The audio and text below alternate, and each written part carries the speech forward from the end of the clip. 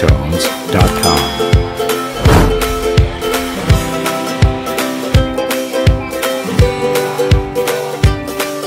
Vaksinasi masal COVID-19 Desa Situ Daun Kecamatan Tenjolaya Kabupaten Bogor digelar di Gedung SMK Yapura 1 dan 2 Tenjolaya Bogor, Rabu tanggal 6 Oktober tahun 2021 berjalan lancar.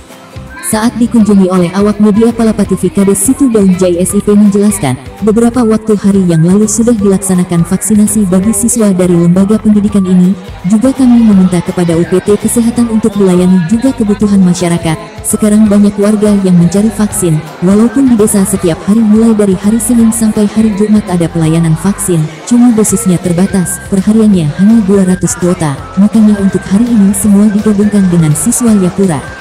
Kalau presentasenya menurut data sudah lebih dari 50% warga yang telah melaksanakan vaksinasi sampai hari ini, dan Alhamdulillah setiap ada kegiatan pelayanan vaksin di desa Situ Daun, malah vaksinnya yang cepat kehabisan padahal warga sangat antusias sekali. Hal ini terjadi lantaran untuk daftar sekarang harus dengan online, ada beberapa kendala kaitan dengan NIK yang belum connect, mestinya sebelum pelaksanaan diupdate dulu NIK-nya sehingga pada waktunya tidak ada kendala. Animo warga sungguh luar biasa karena memang di samping kebutuhan untuk kesehatan, banyak pula yang membutuhkan sertifikat vaksin, sehingga masyarakat sekarang berebut untuk mengejar vaksin.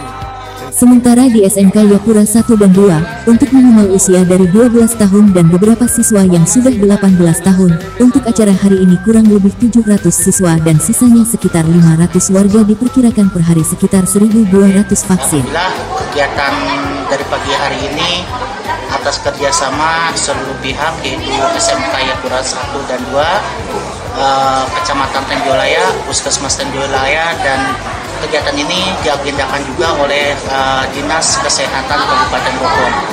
Dan di mana untuk vaksin ini kurang lebih 1.200 eh, vaksin dan eh, dari siswa Yapura sendiri dan juga masyarakat baik desa Situ Daun, Gunung Mulia dan yang sekitarnya.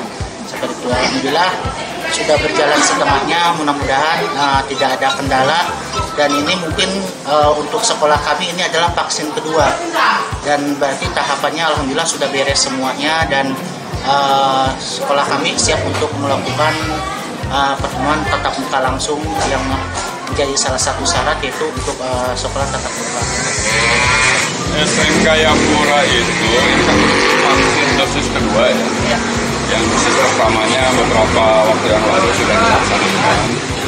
Cuma selain kita melayani siswa dari eh, lembaga pendidikan tersebut, juga eh, kami meminta kepada operator kesehatan untuk juga dilayani kebutuhan masyarakat.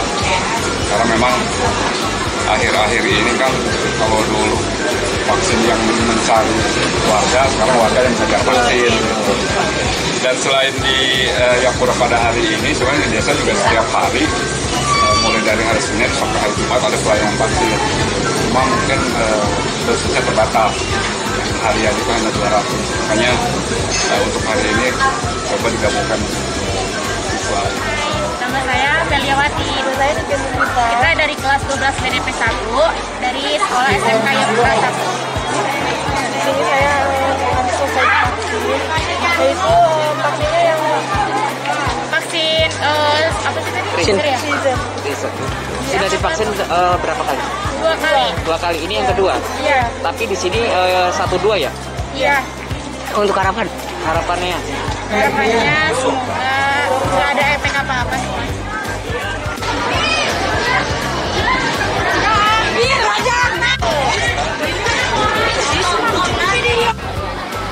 Wah.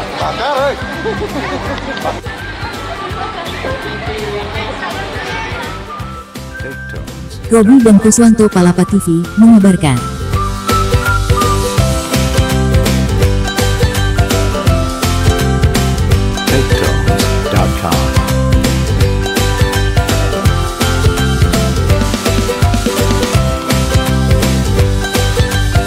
TakeTones.com.